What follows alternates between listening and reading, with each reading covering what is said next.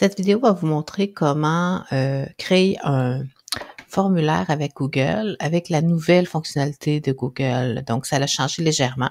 Euh, une fois que vous avez créé votre compte Gmail et que vous entrez dans le Drive, vous cliquez sur Nouveau et vous allez chercher dans le plus la fonction Google Formulaire ou Google Forms, dépendant si vous êtes en paramètre français ou anglais. Une fois que c'est fait, vous arrivez devant une page très simple où vous avez ici le titre de votre formulaire. Donc, si on clique directement dessus, on peut changer le titre. Donc, sondage aux enseignants.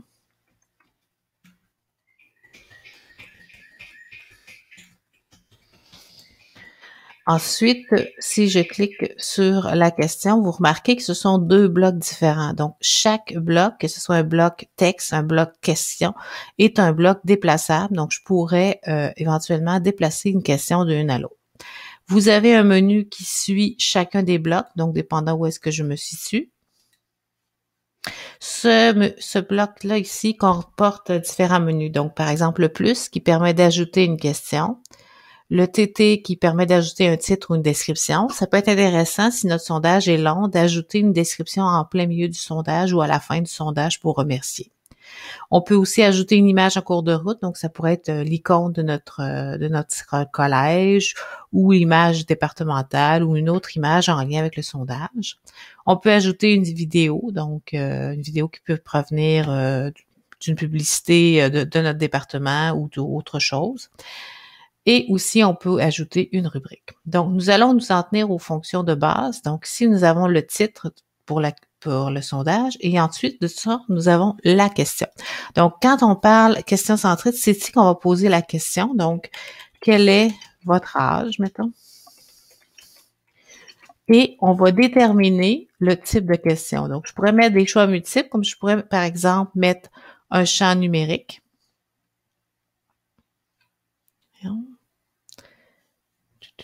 Une réponse courte, mettons. Ou bien je pourrais mettre euh, différents choix en mettant des options, comme par exemple 14 euh, à 20 ans, 15 à 20 ans. J'ajoute une autre option, donc 21 à 30 ans. Une autre option, 30 ans et plus parfois avoir des étudiants ou des enseignants qui, euh, c'est vrai que c'est un sondage aux enseignants, donc je pourrais ajouter autre chose. Et je pourrais, et je pourrais ajouter aussi une option autre. À ce moment-là, cette option-là permet euh, de à, une personne qui voudrait pas dire son âge, par exemple, je ne veux pas répondre ou euh, pourquoi cette question? ou pourrait ajouter un commentaire tout simplement. On peut ajouter ici différentes options. Donc, euh, ma question, par exemple, si je voudrais la dupliquer parce que je veux m'en resservir, je clique ici et là, je vais avoir une double question. Donc, je pourrais marquer quel est votre âge d'entrée au collège? Il va sûrement être différent.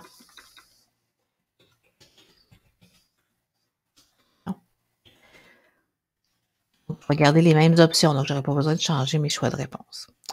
Euh, éventuellement, si je veux qu'une réponse soit obligatoire, donc si je reviens à ma question précédente, je peux ici cocher obligatoire, donc je veux absolument qu'il me dise son âge, puis je veux absolument qu'il me dise l'âge d'entrée. Voilà. Je pourrais ajouter une troisième question, on peut passer, pas appeler ça une question, mais plutôt un champ texte dans lequel je pourrais marquer un merci d'avoir répondu.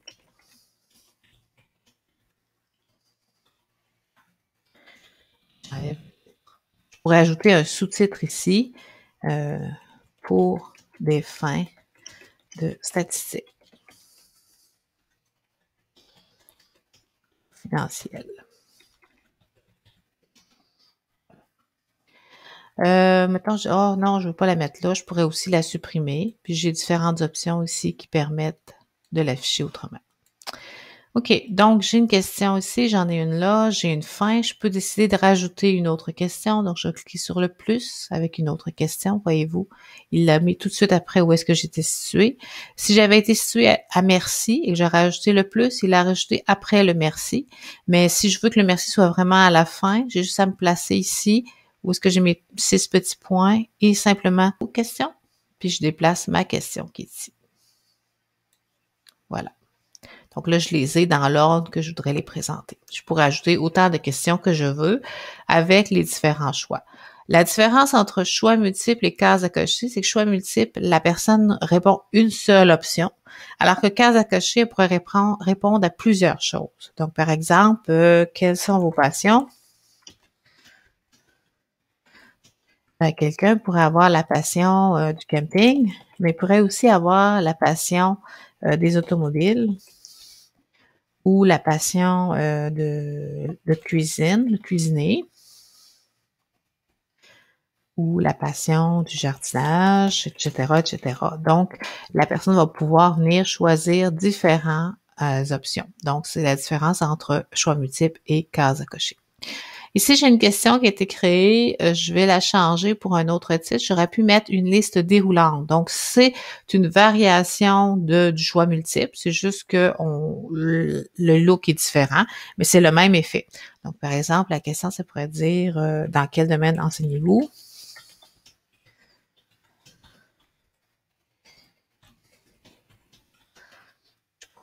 et formation technique,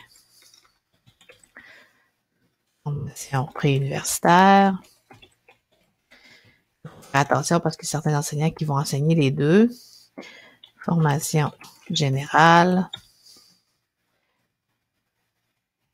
Et vous voyez que je n'ai pas accès à autre vu que c'est une liste déroulante. Donc, euh, formation spécifique. formations. Plus m'ont marqué plusieurs de ces choix.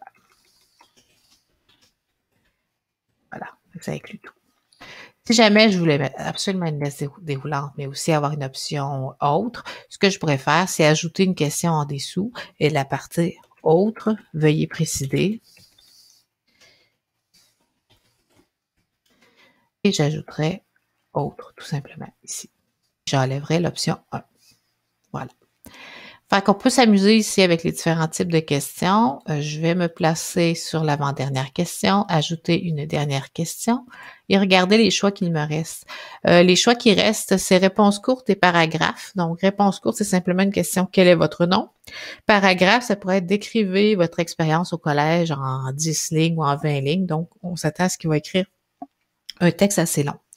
Euh, L'autre aspect, échelle linéaire, donc c'est une, on peut appeler ça une échelle Likert aussi, c'est qu'on va mettre des choix. Donc, euh, êtes-vous d'accord, tout à fait d'accord, moindrement d'accord, pas d'accord, euh, etc. Donc, on va avoir une échelle Likert. Donc, au lieu que ce soit euh, des choix multiples, ça va être vraiment une échelle. Donc, la, personne va choisir sur la question le choix 1, 2, 3, 4, 5, dépendant des, options que vous allez avoir mis.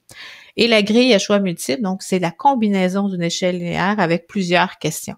Donc, par exemple, si on voudrait savoir la satisfaction de différentes activités qui ont lieu dans le collège, quelle est votre satisfaction? On met l'échelle Likert en haut, en niveau de la grille. Et dans les lignes, on met les options ou les, euh, les choix qu'on veut mettre. Donc, dans les lignes, ça pourrait être, par exemple, euh, activité cinéma,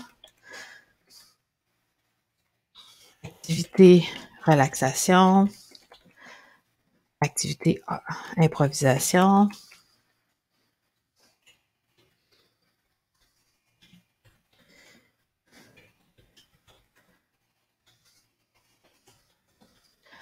Dans la colonne, ça pourrait être par exemple un euh, tout à fait d'accord.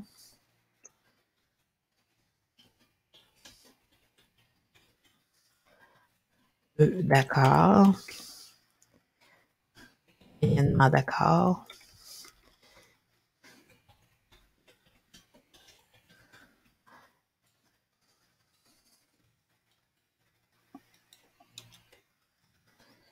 Pas d'accord. D'accord. Il ne veut pas répondre.